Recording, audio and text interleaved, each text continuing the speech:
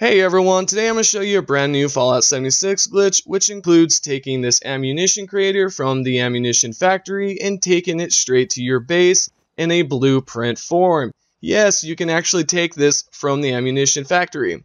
The credit is down below. Now, how do you find this exact location? Well, it's right there on the map for those that didn't know or are new.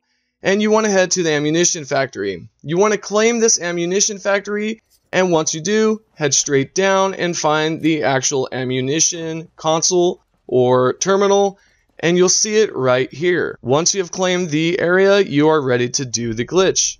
Note that this glitch is a little tedious at first, but you will get the hang of it.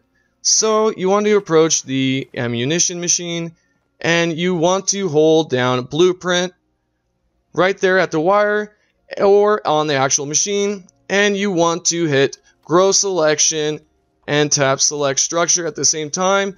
And as you do so, you'll notice that the console and the actual ammunition will now look grayed out. Once you've got that, you are good to go. And now you should have a blueprint like so, and you are definitely ready to plant that at your camp. Now let's show another round of this.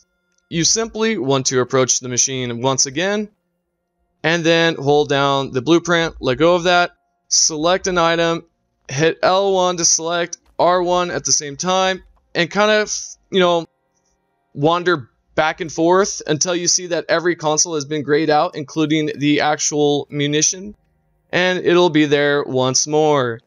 There you go, and then simply head back to your camp and place it down. Now, no, remember, I did not do it in the video because I'm not going to risk that. I want to be here to show you guys a lot of glitches, so I just ain't going to take the risk. Hope you guys have a wonderful day and found this very useful. Take care.